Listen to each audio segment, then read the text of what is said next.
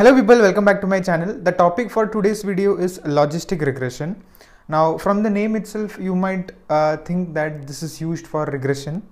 Well not this is not used for regression but it is mainly used for classification. Then you might have the question why it is called as logistic regression or why it is regression. Regression mainly because it uses the underlying principle of what we already know that is our simple linear regression. So which we uh, saw in the previous video. So if you would like to watch what is linear regression, I would suggest you to check that first before watching this. Now I talked about this is basically a classification mechanism. So classification is uh, binary classification that an email is spam or not spam, diabetic is uh, or a patient is diabetic or non-diabetic, 0 or 1, true false or it can be used for multinomial classification that is multi-class classification.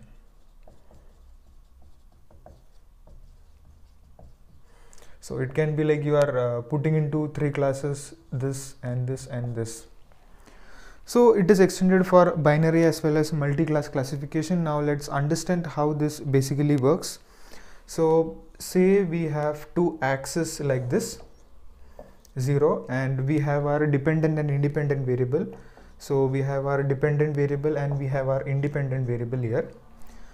Now say for example uh, I am just putting a line like this. So what we get is uh, these are some of our instances which are present here. Now what this basically forms is our linear regression. So we are using the underlying principle of a linear regression and let's see how uh, it is transformed into logistic regression. Now say for example i am uh, doing a drug test for one particular disease and i have different age categories of different persons. So say this is my midpoint here. So here say on this axis I'm taking this age and here I can essentially represent some probability values. So say I'm having the probability value probability of having uh, that particular disease. So it's from 0 to 1 and if it was for probability of 0 that I was taking so this graph would be this way. So now I am considering this graph. That is probability of having that disease whether it's high or not. So along with age I am categorizing into different classes. So I have two classes of age age less than 50 and age greater than 50 so this is my 50 and here is up to uh, any number. So say this is uh, less than age less than 50 and on this side I have age greater than 50 up till any number. Now what this basically does is for one particular instance you have this equation of this line. Now this is given by y is equal to mx plus c. Essentially in this case uh, you have your c intercept or y intercept that is c as 0 and you have m is equal to 1 so this essentially becomes y is equal to x but uh, for a generalization I'll just consider y is equal to mx plus c. Now what you want to have is for any particular uh, age group so say for example I'm taking one particular instance this is one instance in which the age is less than 50 so if I want to check for the probability of that particular age group uh, suffering from that disease what it can have is uh, say I'm taking this this value comes out to be this. Uh, that means uh, our predicted and actual is same. Means for that particular age group which is less than 50 it has a lower probability of uh, having that disease. And say if I'm taking this particular uh, age group which is more than 50 what I can observe is this is somewhere beyond this. So this is uh, you can see that the linear models have a drawback of having the decision boundary from minus infinity to plus infinity. So there you cannot have a finite boundary where you can do the classification. Now when we talk about classification that is binary it can be 0 or 1. so you cannot put that uh, 0 or 1 into minus infinity or plus infinity so for that what we need to do is we need to squeeze this particular line that is a linear line into some function and so essentially in logistic regression what we mainly use is a sigmoid function so that sigmoid function is given as 1 upon 1 plus e raised to minus y. Now if you put this y that is this equation of this line into this that is 1 upon 1 plus e raised to minus mx plus c what this line gets transformed into something like a curve in this shape a curve of this form now if you see this particular line is squeezed into form of an S-shaped curve. So this is called as a sigmoid curve. Now what you have is you have your probability values that is squeezed between 0 and 1 but it's not going beyond uh, that is infinity or minus infinity.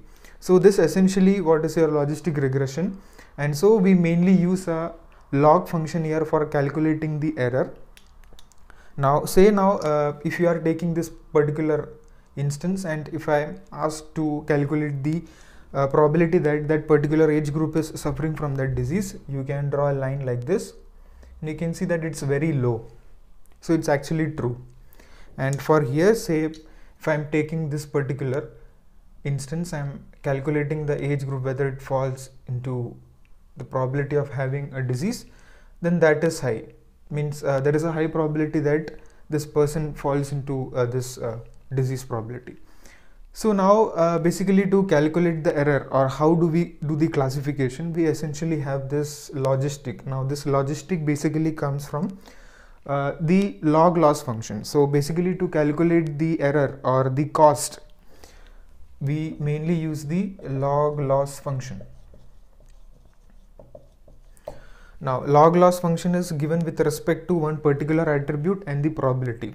So we essentially say we have yi that is this y we are plotting it against some function that is our probability. So this is essentially a pair plot which you can see. So in Python you essentially have some kind of pair plots. So where on one particular dimension you take probability and for each of the attribute you check what is the uh, plot for this particular uh, attribute. So you get different values from that. So essentially we take the target. So yi is the target log to the base. Uh, for two class problem you have two. For three multi-class you have three. So I'll just put it as log. And log to the base of C or E Pi that is first probability plus 1 minus yi log 1 minus Pi so this is my log function. So if I just iterate for n instances and if I want to take the average this is my log loss function.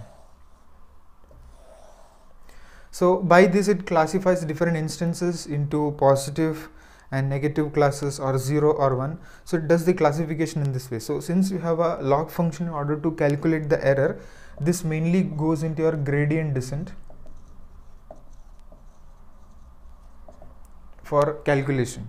Now you can see that this particular sigmoid curve that I have drawn is in some fashion but it can be say this way or it can be this way. It can take any shape. So the question is how we can decide which is the sigmoid shape to keep or for better classification. So that essentially is done by two operation. You do a movement and you do the stretching. So if you just uh, make this S curve and if you want to move it up or down. So that is essentially handled by your intercept. So along the intercept you can move this S curve either up or either down. And if you want to stretch this to make this way it is done with the help of this slope. So slope that is m gives you the stretching. And your c intercept will give you the movement in either upward direction or downward direction. So by that you decide which uh, particular S curve or sigmoid curve is essential for your logistic regression classification. So this logistic regression has got certain advantages or benefits. So the very first one is it is resistant to overfitting.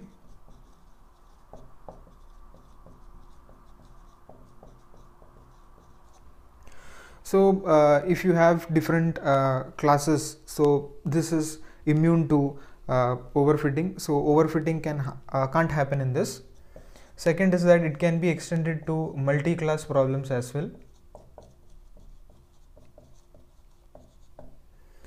And you have some uh, negatives that it still creates a linear decision boundary.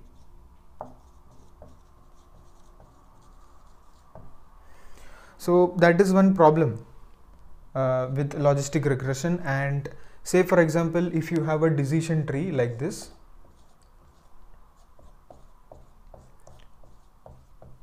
now in this what you have is uh, you have a instance space something like this. And if you want to consider that is the root node so that is your entire data set. Now you have two of these decisions that is either this way or this way so that is seen by a line like this.